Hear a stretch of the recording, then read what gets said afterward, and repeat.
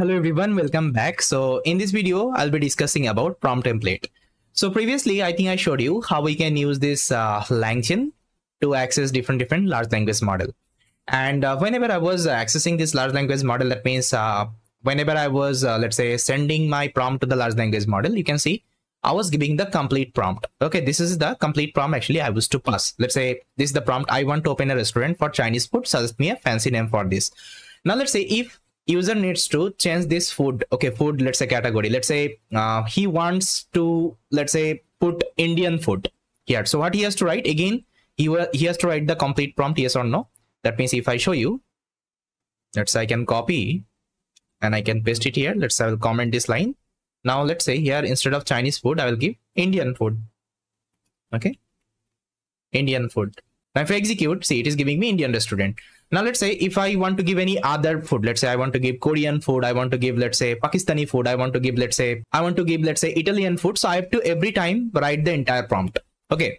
But let's say you are creating a complete application. You are creating a complete let's say web application or let's say streamlit application or any kinds of application there you don't want to pass this entire prompt again and again. Because if user uh, let's say needs to pass this prompt entirely again and again. So it would be a little, little bit actually let's say hard for the user. Yes or no? Now see instead of passing the entire prompt you can see we can only change this uh, food category. Okay the food category will only change. Otherwise the see this prompt will remain same na every time. So that time actually i can do the slight modification here. That means i can create a template of the prompt. And user will only select that part he needs to change here. Okay this is the idea. Now let me show you how it can be done so for this actually we'll be using something called prompt template okay? Now inside langchain we are having uh, inside langchain prompts we are having something called prompt template. Now here i've created a prompt template and here i've given the input variables is equal to cuisine. Now this is the same prompt i have written. You can see i want to open a restaurant for now you can see in the bracket i have written cuisine. Okay now this is going to be the input only.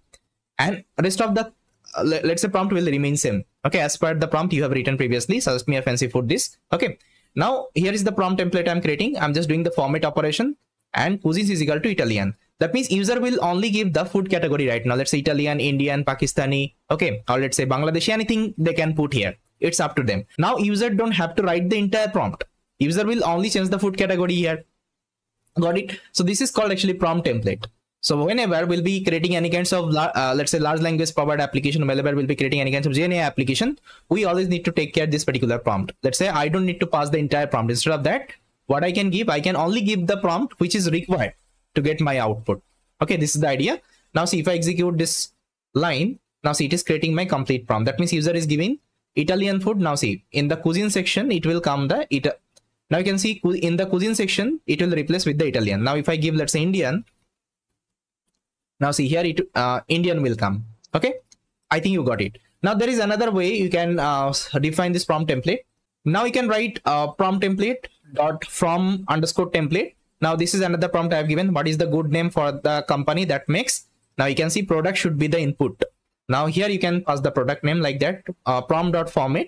Product is equal to colorful socks or any other name let's say cakes or let's say uh, biscuits anything you can give here. Now if i execute see in the product this uh, input would be replaced.